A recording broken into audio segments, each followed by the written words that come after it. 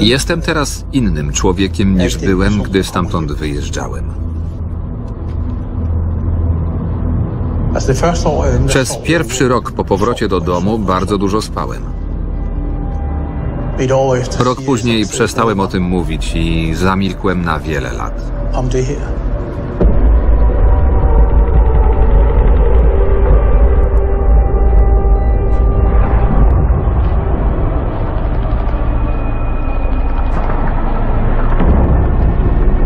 Po wybuchu wojny w Jugosławii i ogłoszeniu niepodległości przez Chorwację ONZ wynegocjowała w 1992 roku zawieszenie broni.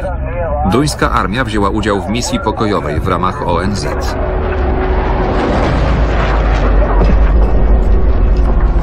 W 1995 roku wojska chorwackie rozpoczęły dużą operację militarną. Z jej rejonu zbiegło 250 tysięcy etnicznych Serbów. Det er tirsdag den 8. Jest wtorek, godzina 14.48. Od wczoraj od 5 rano pod naszą bazą trwają ciężkie walki. Utrolig heftige øh, kampe i øh, husrækkerne umiddelbart 100-150 meter mod Jürgen Kolt, dowódca duńskich sił ONZ. er er. Jest wielu poległych. Teraz, gdy filmujemy, grupa psychicznie chorych osób musiała opuścić szkołę. Nie wiedzieliśmy, że jest ich aż tyle. Øh, var der i det antal. Vi troede kun, der var en enkelt, og de er blevet båret ud med... Wyszli z uniesionymi rękami. øh, Nie wiemy, co się z nimi stanie. Dziewięć niepełnosprawnych osób, Chorwatów i Serbów, zabito zaledwie kilka metrów od duńskiej bazy. Widzimy efekt egzekucji psychicznie chorych ludzi. Zostali zastrzeleni.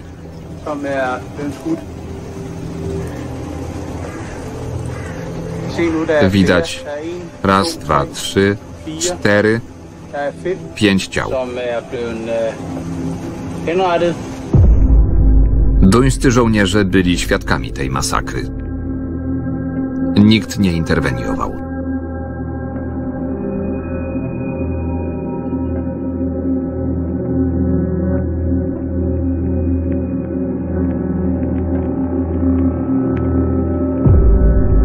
Piętnaście minut. Masakra na Bałkanach.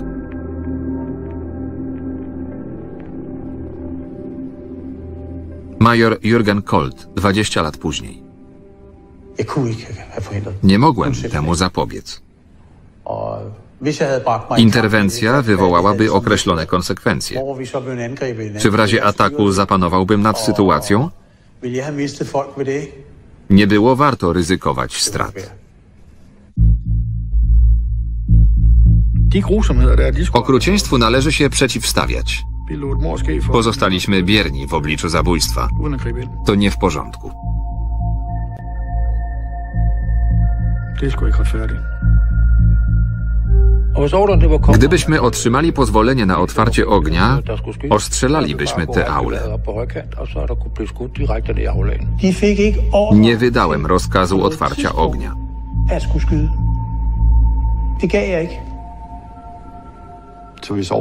Gdyby wydano rozkaz, to byśmy strzelali.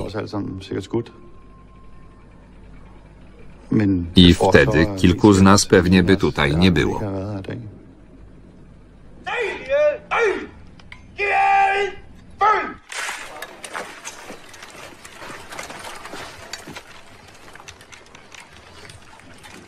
Der er forskellige ting. Jedne rzeczy widzę bardzo wyraźnie, a innych wcale nie pamiętam. Jürgen Kolt wraca do przeszłości, by zaleczyć rany, jakie pozostawiła w nim ta masakra. Zabicie osoby niepełnosprawnej, która nie stanowi realnego zagrożenia, to czyn niezwykle brutalny. Podobnie jak bicie dziecka. Doskonale to pamiętam. W przypadku jednych zwłok widzieliśmy ranę wylotową, ale nie było wlotowej. Brakowało jedynie kilku zębów. Willy Bögelund badał masakrę w dworze z ramienia Trybunału ONZ do ścigania zbrodni wojennych.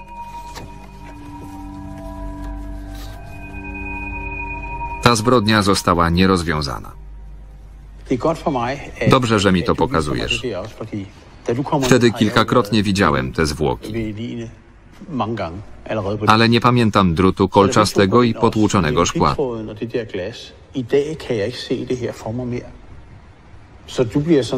Dlatego twoje notatki Pamiętasz to lepiej niż ja. Nie widzę już tych zabitych ludzi. Ja, pamiętam, jak leżeli, jak wyglądali. Świetnie to pamiętam.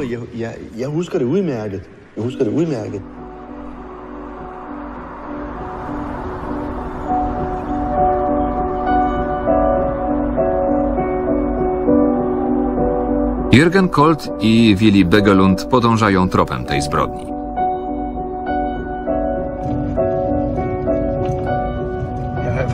Wtedy wszystkie domy były tu doszczętnie spalone.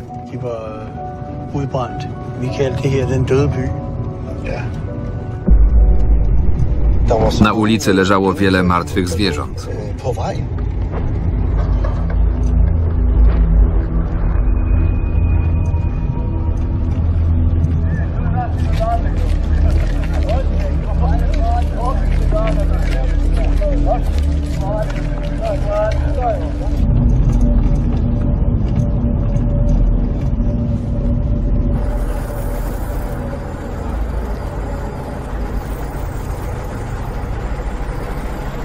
Duńscy żołnierze kontrolują serbsko-chorwackie zawieszenie broni.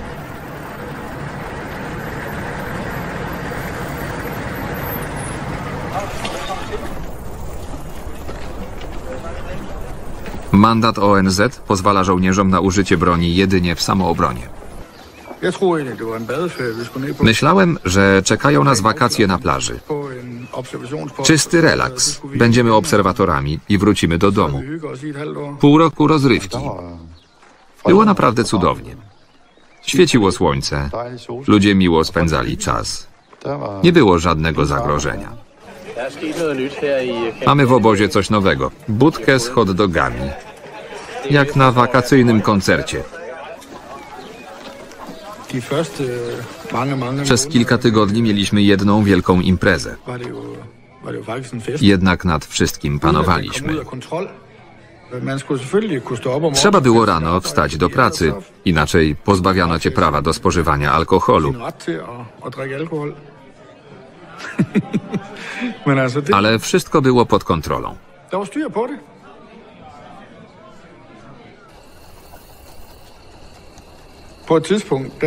Pewnego dnia major Cold rozkazał nam napełnić piaskiem worki. Pewnie uznał, że baza nie jest wystarczająco zabezpieczona. Worki pokryły dosłownie wszystko. Żołnierze znienawidzili za to majora. To była ciężka fizyczna praca. Miałem w uszach słowa rodzin. Mój syn musi wrócić do domu. I powtarzałem to sobie. Oni muszą wrócić. Każdy, kto był tam w sierpniu 1995 jest wdzięczny majorowi Coldowi for za te worki.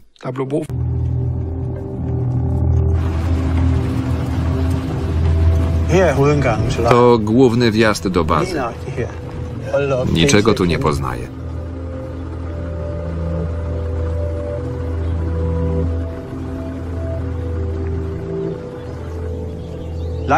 Baza ciągnęła się aż do boiska piłkarskiego.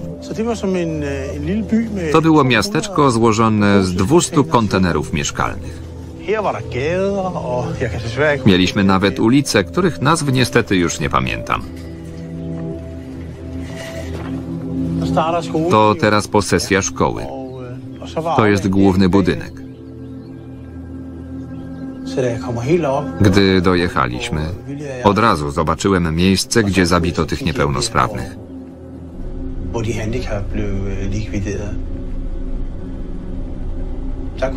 Wtedy zdałem sobie sprawę, że wciąż mam gęsią skórkę. Zaczęły powracać do mnie zapomniane strzępy wspomnień i zobaczyłem to dużo wyraźniej. To dziwne uczucie przyjechać tu po 20 latach. 20 W moim życiu wiele się w tym czasie zmieniło.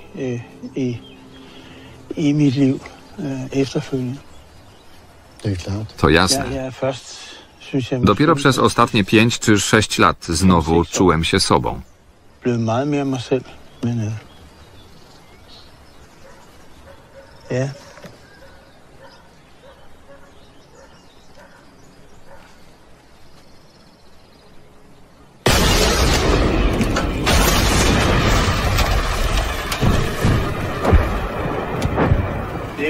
4 sierpnia 1995 roku Chorwaci przeprowadzili atak. Jest godzina 6.15. Większość z nas wstała godzinę temu. 06.15, og de fleste af os har været op en times tid. Meget tidligt om morgenen Obudzili nas wcześnie rano. Mieliśmy natychmiast udać się do bunkra. Myśleliśmy, że to ćwiczenia. Wyskoczyłem z łóżka i chwyciłem ekwipunek, a także karton papierosów, sześciopak coli, aparat Game Boya i pobiegłem na stanowisko. Wakacje skończone. Zaczęła się twarda rzeczywistość.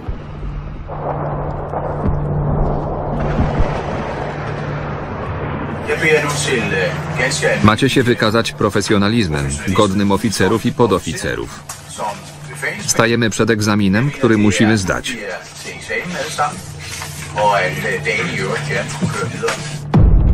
Gdy wybuchły walki, duńscy żołnierze otrzymali nowy rozkaz. Zabroniono im opuszczać bazę. Broni nadal można użyć jedynie w samoobronie. Kazali nam pozostać w bazie i w nic się nie angażować. Największy problem w tym rejonie stanowią uchodźcy. Pragną przejść po moście do Bośni. 6 sierpnia, dwa dni przed masakrą. Z północy wciąż napływają uchodźcy. To smutny widok, są ich tysiące. Idą z całym dobytkiem.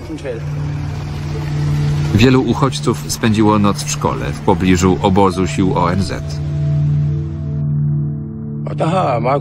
Wraz z kolegami dobrze widzieliśmy, co się tam dzieje. Za wielkimi oknami znajdowała się obszerna aula. Przez kilka dni panował tam duży ruch. Dzieci, młodzi i starsi ludzie szli pieszo lub jechali na wozach konnych. Mieli ze sobą rzeczy, które zdołali uratować. To były dziesiątki tysięcy ludzi. Przez większą część nocy strzelała artyleria. Jednak nie trafili w naszą bazę. Niedawno usłyszeliśmy, że jest tam także piechota. Ruszyły czołgi. Piechota zbliża się do naszych pozycji.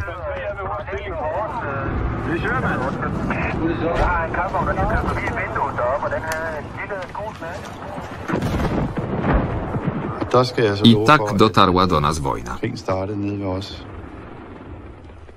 Wyglądało to jak film, w którym jednak nie braliśmy udziału. Jakby nasz obóz znalazł się pod kloszem. Wokół toczyły się walki. Wszyscy strzelali.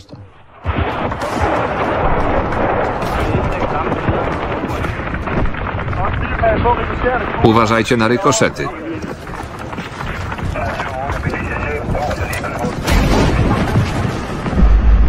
Większość uchodźców wydostała się z miasta. Jednak za szkołą, przy bazie ONZ, pozostała grupa niepełnosprawnych. Widzieliśmy chodzącego w kółko młodego człowieka. Nie zwróciliśmy na niego większej uwagi. Nie wiedzieliśmy, że są to ludzie chorzy.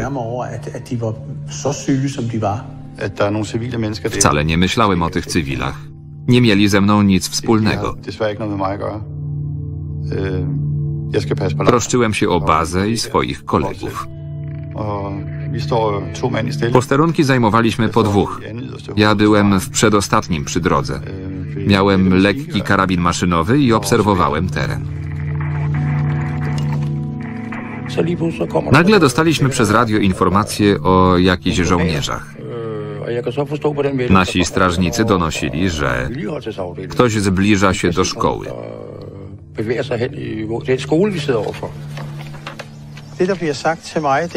Usłyszałem, że drogą biegnącą ze wschodu na zachód idzie patrol złożony z kilkunastu osób. To była ta droga. Różne mundury, jasne oraz ciemne, gładkie i z kamuflażem. Zajęli pozycję przy tym betonowym murze. Nawiązałem z jednym z nich kontakt wzrokowy. Nie wiem, czy to był Chorwat czy Serb. Zapalił papierosa, ja także. Kiwnęliśmy do siebie. Jakbyśmy się nawzajem upewniali, że nic nam nie grozi. Dwóch czy trzech żołnierzy weszło do szkoły od północy. Widzieliśmy, kto wchodzi do szkoły głównym wejściem, patrząc przez aulę za oknami. Ja miałem dobry widok. Widziałem żołnierzy w mundurach wchodzących do auli. Potem przeszli do aneksu i słyszeliśmy głośny wybuch.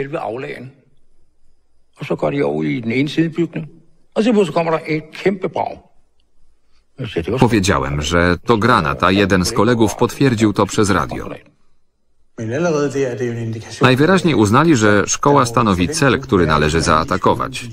Ramme, fordi Dlatego jako dowódca nie widziałem w tym zagrożenia dla nas. Er Potem żołnierze wyprowadzili dużą grupę cywilów.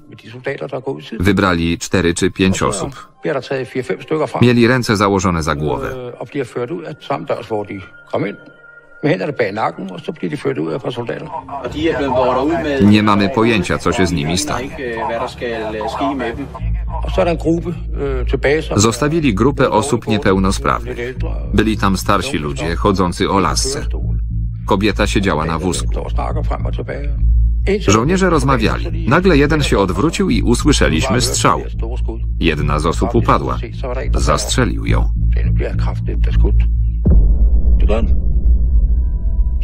Wtedy ten żołnierz spojrzał w drugą stronę i strzelił do staruszki na wózku. Natychmiast zameldowaliśmy o tym przez radio.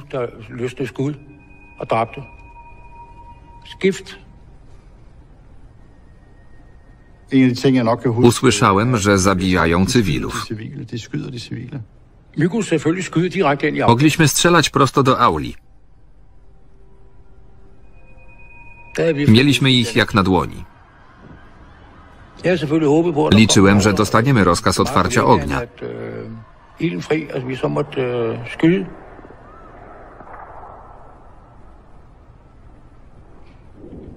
Ale taki rozkaz nie padł.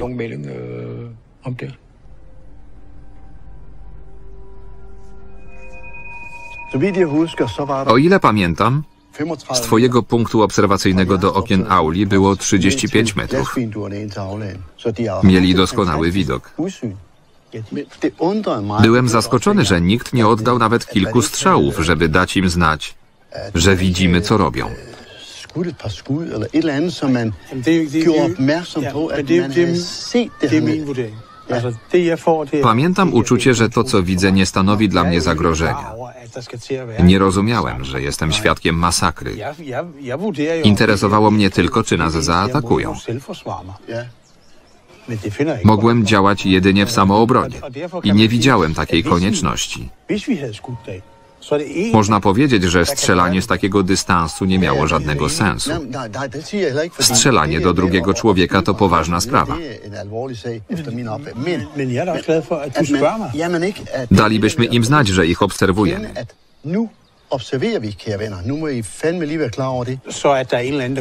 Ktoś mógł oddać strzał ostrzegawczy, ale nie wiedzieliśmy, co oni planują. dopóki nie zastrzelili pierwszej osoby. Czy to by oznaczało, że całkowicie zaangażujemy się w tę wojnę? Jakie byłyby konsekwencje? Nie pokonalibyśmy ich. Gdybyśmy otrzymali rozkaz otwarcia ognia, moglibyśmy ostrzelać aulę. bare gå rejsgeværet op på højkant,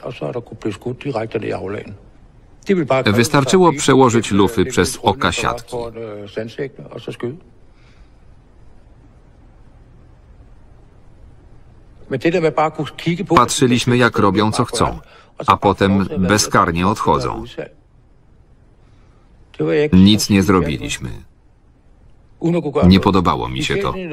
Szczególnie, że mieliśmy nad nimi przewagę. Mogliśmy przynajmniej ich zatrzymać, żeby potem trafili pod sąd. Ale pozostawaliśmy pasywni.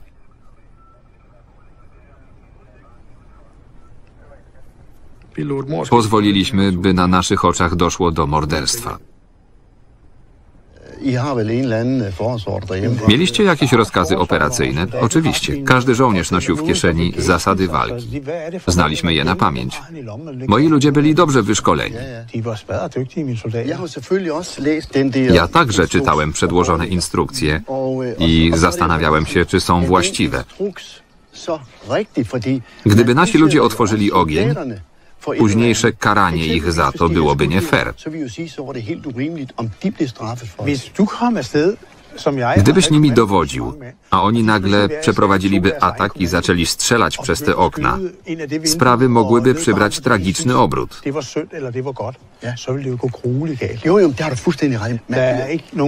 Er. Żaden z żołnierzy nie jest niezależną jednostką. er. Byłem ich dowódcą, wchodzili w skład sił ONZ. De Dlatego er- musieliśmy pozostać na terenie bazy. Længere Zachować spokój i nie angażować się w walki. I vores lejre, duk os ned, tige stille og lad være at blande os i de Zrealizował się najczarniejszy scenariusz. Na naszych oczach popełniono okrutną zbrodnię. En, en, en så modbydelig øh, forbrydelse som den, vi, vi går og kigger på nu. Ja. Ikke? Min holdning er... Powinniśmy byli coś zrobić.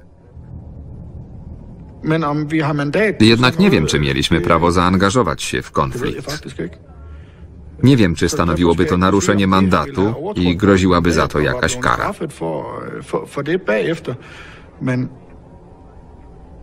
Ale myślę, że powinniśmy byli zaryzykować.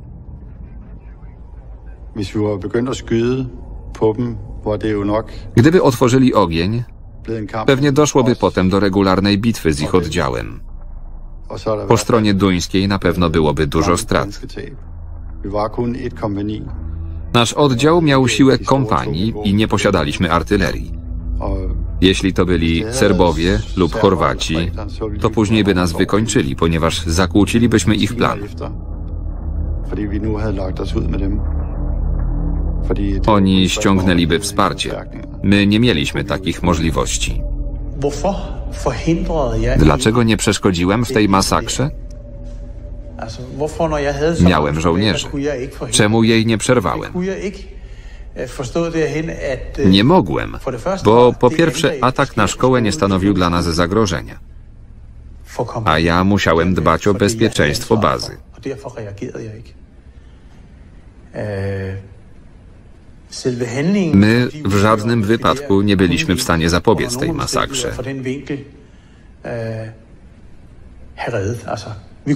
Może uratowalibyśmy jedną czy dwie osoby,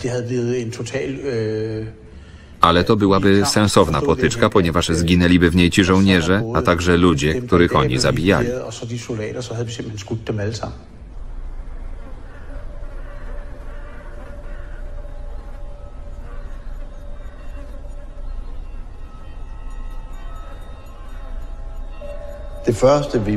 Najpierw uderzył nas odór zwłok.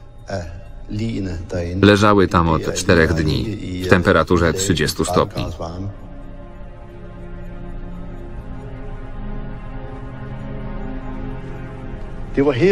Leżeli tutaj.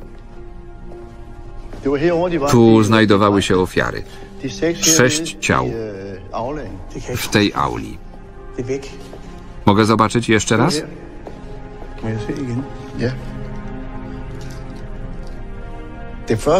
Najpierw ujrzałem starszą kobietę bez nogi, obok której leżały kule.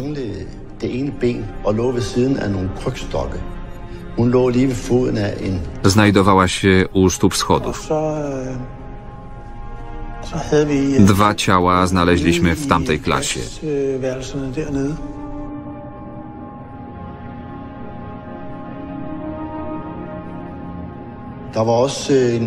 Øh, øh, Pamiętam też øh, młodego człowieka. Måske en 5-26 år. Mógł mieć 25-26 lat.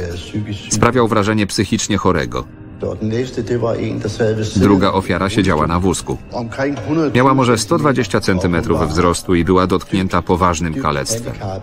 øh, Na jej piersiach widzieliśmy ranę wlotową. Nie poznaję tej sali. Pierwsza ofiara leżała tutaj.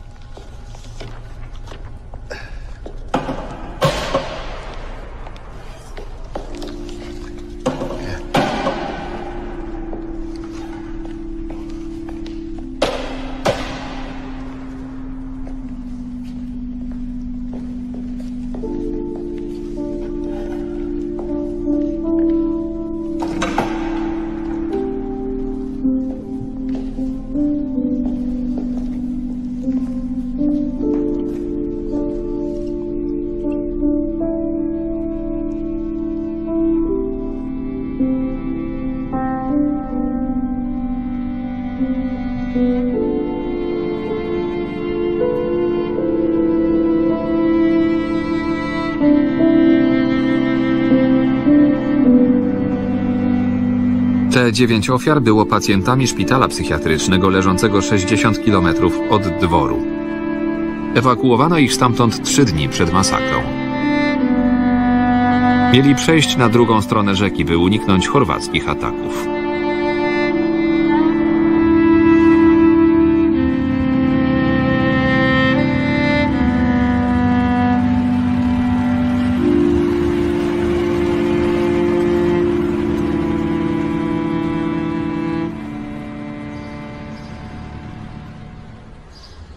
Szpital psychiatryczny, Petrinia, Chorwacja. Ostrzał rozpoczął się o 5 rano i trwał przez cały dzień. Po zmroku przestali strzelać. Około północy zaczęliśmy ewakuować cywilów. Z Petrini do dworu, gdzie wtedy było bezpieczniej. Petrinje na neko manje ugroženo područje, a to je ovaj put bilo u pravcu dvora na Uniji. Ovaj, Pojechali do dworu w towarzystwie pielęgniarek. U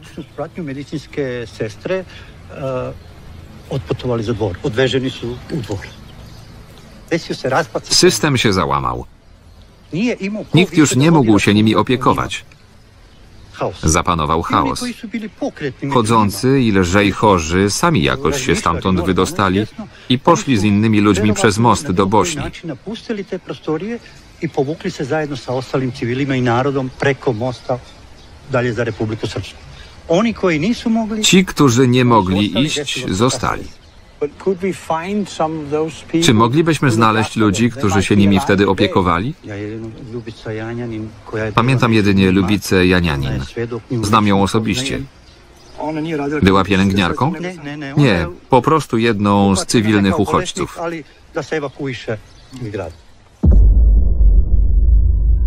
Lubica Janianin uciekła z Petrini z pacjentami. E, Wyjechałam z nimi ze szpitala późną nocą. Zaoferowałam się, że pomogę im w zatłoczonym autobusie. sa mojom čerkom, da ću pomoći.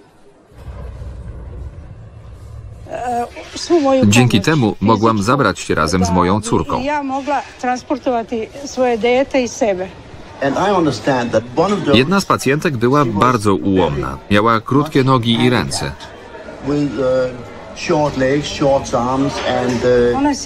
Siedziała przede mną. Posadziłam ją sobie na kolanach. Dzięki temu ta druga, bez nogi, mogła usiąść. Ona była garbata. e, Ja ima, ovu sam držala ovako, tu sa grbom. Ja i córka podtrzymywałyśmy je obiema rękami.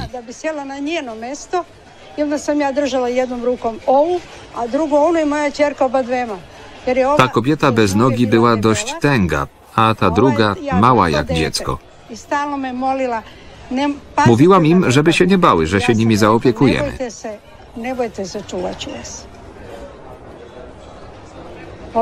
Jechaliśmy powoli, ponieważ napływało coraz więcej uchodźców. Zrozumiałam powagę sytuacji, gdy zobaczyłam te tłumy uciekających ludzi. Przeraziłam się. sliku šta nas dalje čeka. To je bilo strašno. Okolica była pusta. Wszyscy porzucili domy, bojąc się o własne życie. Ludzi ogarnęła panika. Ja także umierałam ze strachu.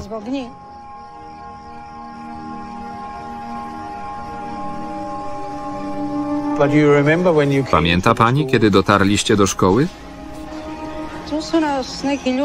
Ktoś nas tam przyjął. Cywile, którzy byli zdrowi, poszli do dużej klasy, a chorzy do małej.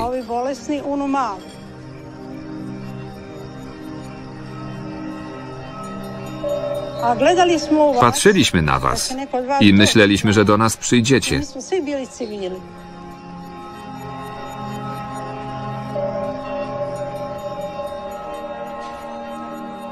Ale nikt nie przyszedł. Widzieliśmy ludzi, lecz nie wiedzieliśmy, że są chorzy. uh, Teraz dowiaduję się, że nieomal prosili o pomoc. Drogi panie, wszyscy patrzyliśmy w waszą stronę. vaše Nie mogliście nas nie zauważyć. Nie byliśmy mrówkami. Nemoguće da nas nismo mravi, da se nismo mogli vidjeti u, u dvorištu. I pokušavali Dawaliśmy wam różne znaki, ale nikt nie reagował. Wszyscy udawali, że nas nie widzą i odwracali się plecami.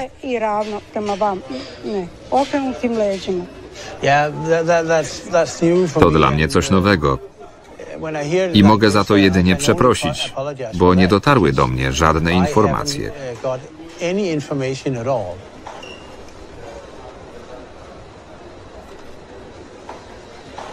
Prosto da verujem. Trudno mi w to uwierzyć. Žao mi ali prosto to Przykro mi, ale to nieprawdopodobne. Nie mogę uwierzyć, że nie widzieliście tych wszystkich ludzi. Przepraszam, ale takie słowa bardzo mnie ranią. Strašno mi je teško, povrijeđena sam ovom izjavom vašom. ONZ zawsze zajmowała się cywilami. Może powinniście byli przyjść do nas, do szkoły. Pomoglibyście valjda cywilom i ochronilibyście ich.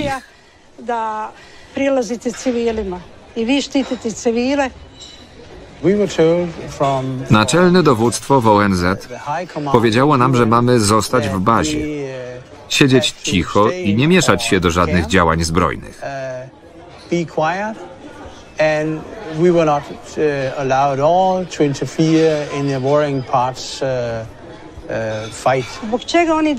Czemu nie mogliście przynajmniej przewieźć tych kalek przez most do Bośni?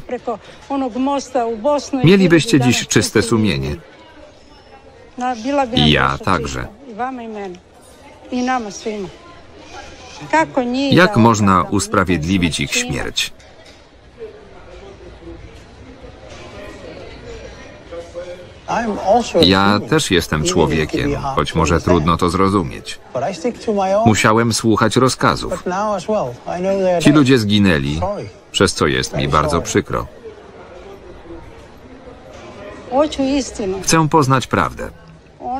Czuję się, jakbym straciła własne izgubila. dziecko. Tražim. Zabiegam o Samo sprawiedliwość, szczególnie dla tych dwóch kalekich kobiet. Pochodziły z mojego Moje miasta, z Petrinji. koje sam ja cenila. I boli mnie serce i od 19 lat nie mogę zaznać spokoju. Powiedzcie mi, kto je zabił. W dniach poprzedzających masakrę w pobliżu szkoły znajdowały się zarówno chorwackie, jak i serbskie wojska. Nikt nie przyjął odpowiedzialności za śmierć tych ludzi.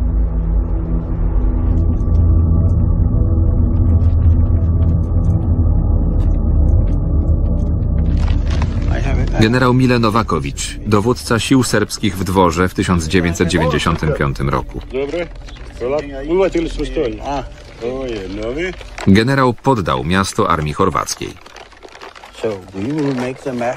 Mógłby pan zaznaczyć na mapie, jak wyglądała sytuacja?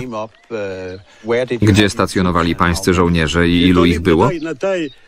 Nie da się tego precyzyjnie ustalić. E, e, Nasi żołnierze zaczęli wtedy dezerterować. Wiem. Zależało nam już jedynie na tym, by kolumna uchodźców opuściła Serbię oraz przeszła w bezpieczny rejon, unikając ostrzału i rzezi. I od artylerii, i na terytorium Republiki Srpskiej. Wie pan, gdzie w dworze jest szkoła? Znam. Wiem. Był pan tam? Nie. Ten rejon nas nie interesował. Skupialiśmy się na drodze. Chodziło o to, by uchodźcy zdołali przejść. Dopóki nie ginęli cywile w tej kolumnie, wszystko było dobrze.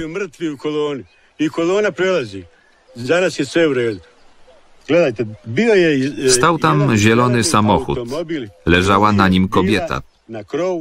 Znajdowała się na dachu i miała podcięte gardło.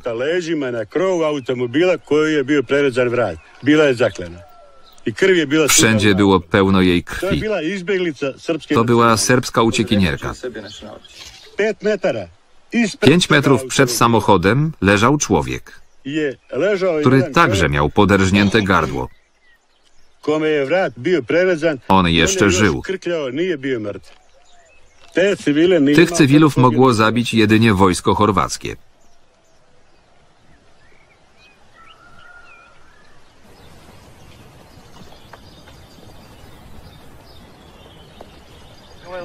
Ten po lewej to ich dowódca.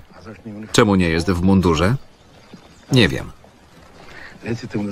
Powiedz, że mam na sobie mundur, bo słyszałem, że on też będzie ubrany po wojskowemu. Pułkownik Bruno Czawicz, dowódca chorwacki, który wyparł Serbów z dworu. Niestety nie zabraliśmy mundurów. Pragniemy dowiedzieć się, dlaczego doszło do tej masakry w szkole i kto się jej dopuścił. We want to, to find out why did the, this killing happen at the school and who did it. I mean, Žele da saznaju uh, zašto se dogodio ovaj masakr u školi i ko je to uradio. Dlatego tu przyjechaliśmy. Też zadaję sobie to pytanie. Moi żołnierze nawet nie zbliżyli się do tej szkoły. A osmoga nisu 8 bili sierpnia żadnego z nich nie było w dworze. Z jego batalionu. A t- osmoga nije bio nijedan. 8 sierpnia w dworze nie było jego żołnierzy. Ani jednego.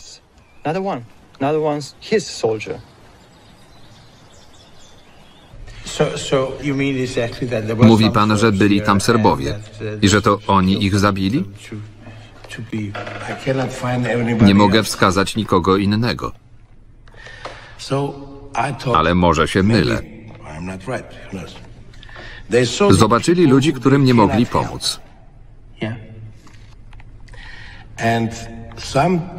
Może pojawić się refleksja, że tak będzie dla nich lepiej, że to zakończy ich cierpienie.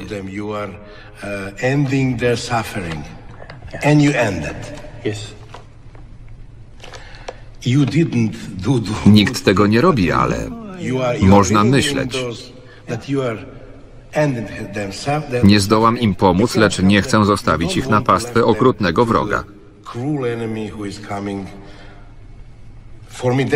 To jedno z wytłumaczeń. Trwały tam ciężkie walki. about the 80s. Uh, Kto to mógł być? My nie mieliśmy żadnego oddziału, który podlegał rozkazom armii chorwackiej w dworze.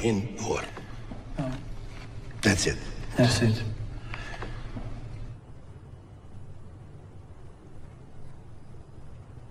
Der, der er et eller andet Coś się nie zgadzało w datach, które podał ten chorwacki er oficer.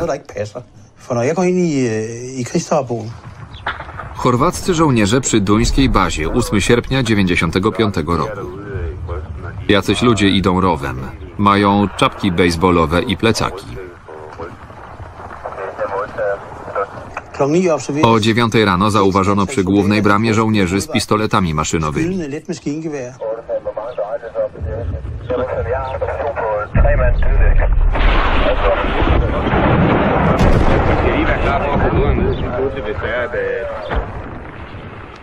8. har den kroatiske 8 sierpnia armia chorwacka zaatakowała z całą mocą.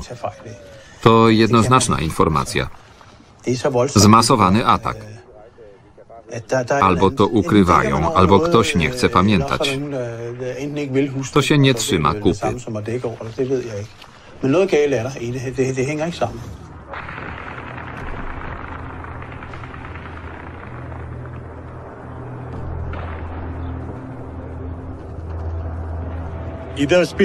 Mam pytanie.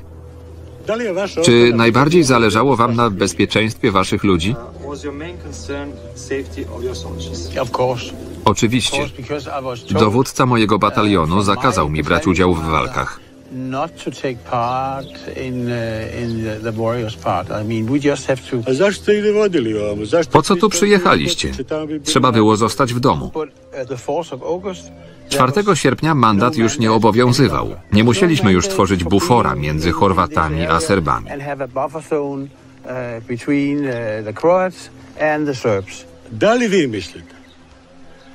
Wierzy pan, że ograniczenia mandatu w misji pokojowej e, e, e, mogą tłumaczyć, dlaczego nie ocalilibyście życia takiej dziewczynki? Nieważne, czy byłaby Serbką, czy Dunką. Mierzą do ludzi z broni. Czy ograniczenia pokojowego mandatu to odpowiednia wymówka? Dobre pytanie. Pan prowadził tu wojnę. Ja nagle znalazłem się w tej sytuacji jako dowódca. I to bardzo źle, że nie pozwolono nam interweniować.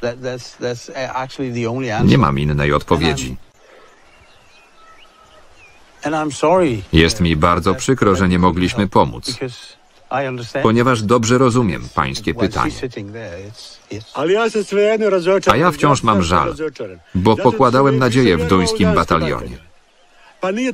Nie mówimy o żołnierzach jordańskich czy nepalski nepalskich, lecz o Duńczykach. Jesteście wikingami.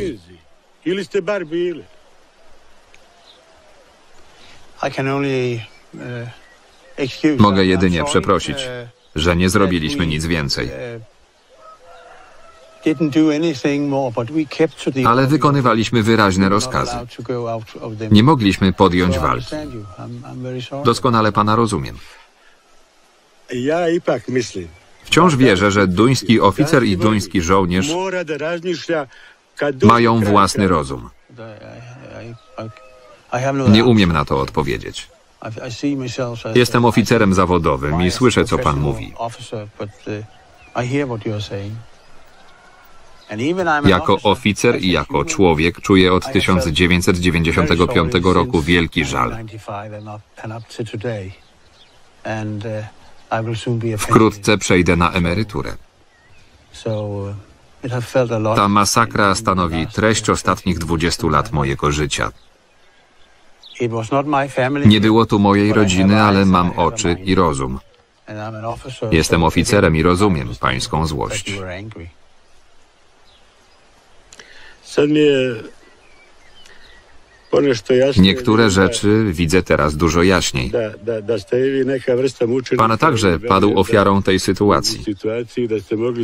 Gdyby mógł pan sam podejmować decyzje, postąpiłby pan inaczej.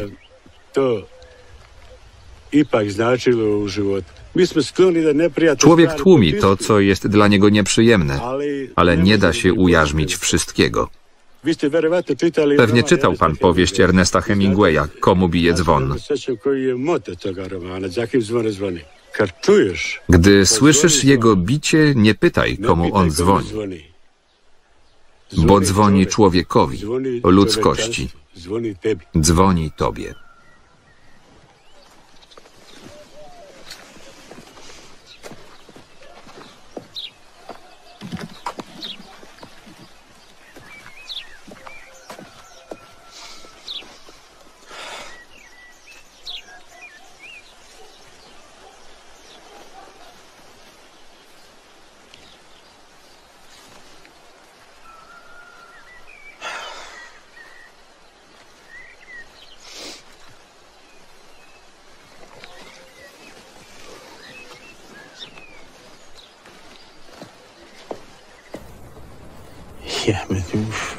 Sam widziałeś, jakie to było trudne.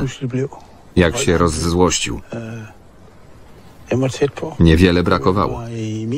Er Minimalnie chybiony strzał. Øh. Chciał zrzucić z siebie to brzemię.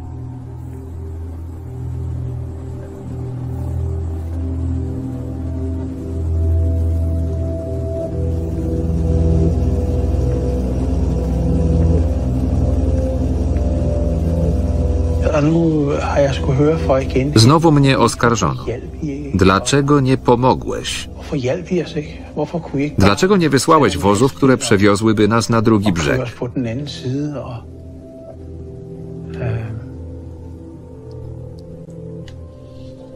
det er en utro.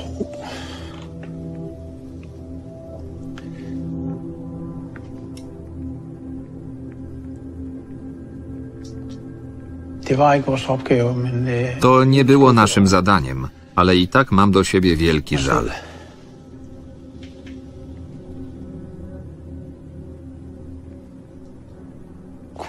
Czy mogliśmy im pomóc? øh, ramt. Nie, ponieważ wtedy zostalibyśmy zaatakowani. Foregår. Abstrahując od tego, co się teraz dzieje na świecie, w rejonie dworu toczyła się wojna. Nie mieliśmy mandatu, a uchodźcy znaleźli się w centrum działań wojennych. Zoran i Milka Suboticiowie, krewni zabitego Darka Krivokuci, lat 29. So it was your best friend. Był pańskim przyjacielem?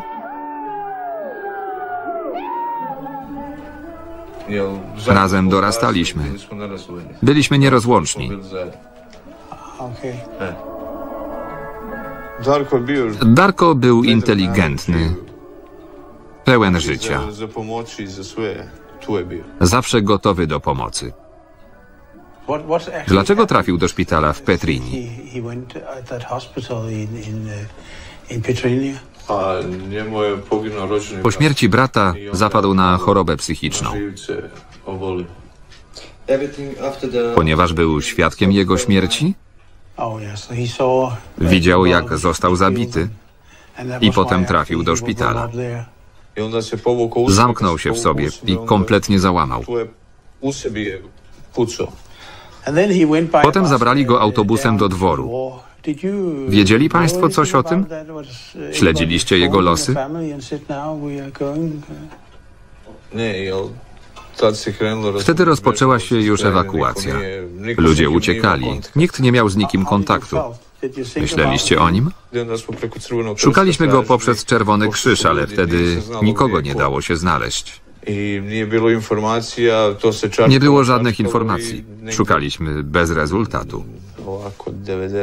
Ovako, 90, 99. Chyba w godine 1999 roku Czerwony Krzyż zakończył działalność. Zadzwonili do nas i powiedzieli, że poszukiwania zostały wstrzymane.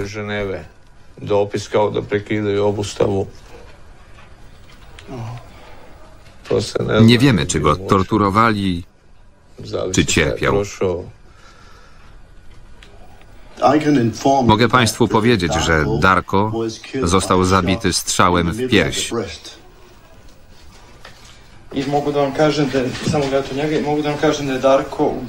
što mu je pucano a, jednim pucnjem u grudi.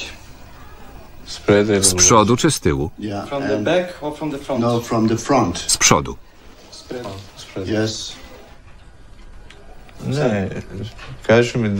Najbardziej interesuje mnie to, czy go torturowali. No. Nie był torturowany. Zginął od jednego strzału z bliskiej odległości.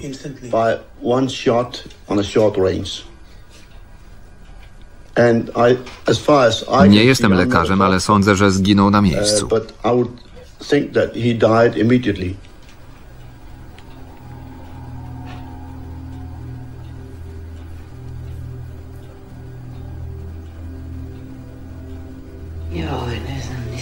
Jak to się mogło stać? Dlaczego zostawili tych niepełnosprawnych ludzi na pewną njih 12 śmierć?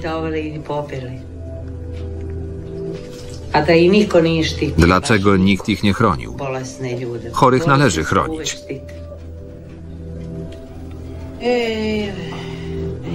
Straciłam wszystko. Yeah.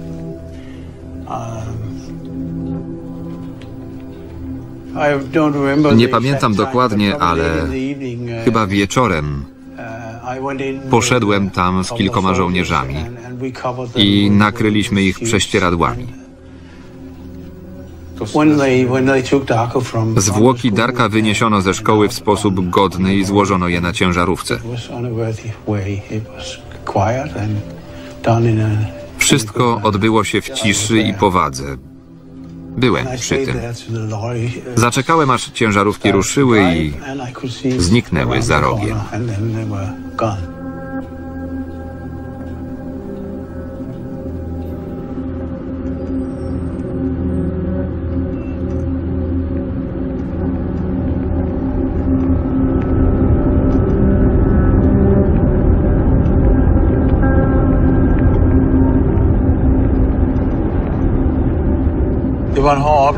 To było ciężkie przeżycie.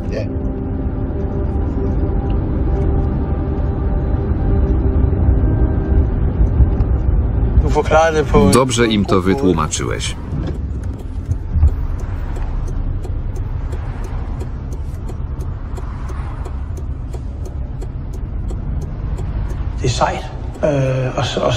Dem. Ciężko rozmawia się z ludźmi pełnymi Det er gniewu. Te emocje się udzielają. Øh, Trudno było mi się opanować. Mandat na podstawie którego tam pojechaliśmy, er był z założenia niewykonalny. Był zły, ponieważ ludzie, którzy mieli go wypełniać, mogli liczyć jedynie na krytykę. Jeśli coś poszło źle, to czyja to była wina? Żołnierzy. To bardzo niesprawiedliwe. Wniosek jest prosty. To był zły mandat. Jego twórcy nie powiedzieli, jak można było pomóc otaczającym nas ludziom. Żołnierze nie potrafili tego zrozumieć. Ludzie po obu stronach nie wiedzieli, czego nie wolno nam robić i oczekiwali, że pomożemy im w ucieczce albo damy im wodę. W przyszłych misjach mandat musi być całkowicie jasny. Należy poinformować żołnierzy i ludność kraju, co wolno nam robić, a czego nie.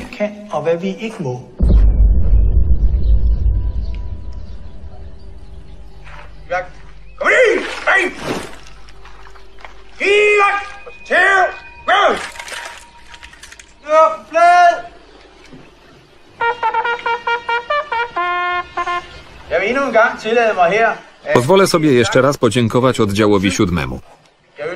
Życzę Wam udanego urlopu. Dobrze go wykorzystajcie. Spędźcie jak najwięcej czasu z rodziną i postarajcie uwolnić się od stresu.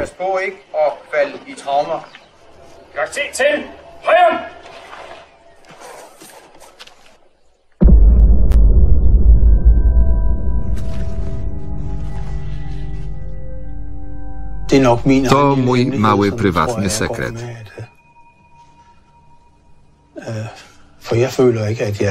Nie czuję się jak żołnierz, który przeżył tragedię. Z całym szacunkiem dla tych, którzy przeżyli. Choć może jednak ją przeżyłem. Gdy słyszę, co ludzie o mnie mówią, jak mnie postrzegają,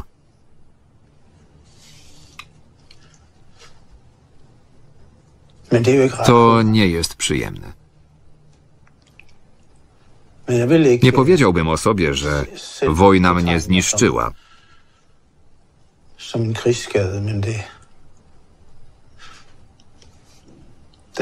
ale chyba tak się stało, w pewnym sensie.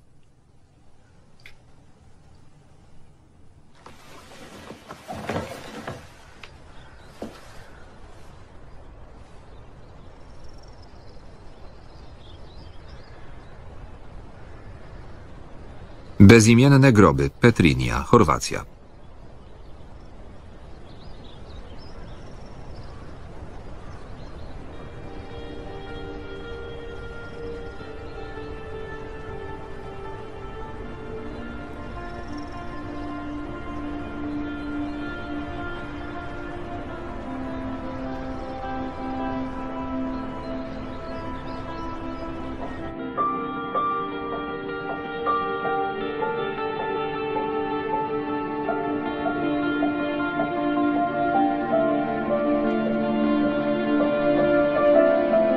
Film poświęcony pamięci ofiar masakry w Dworze w 1995 roku.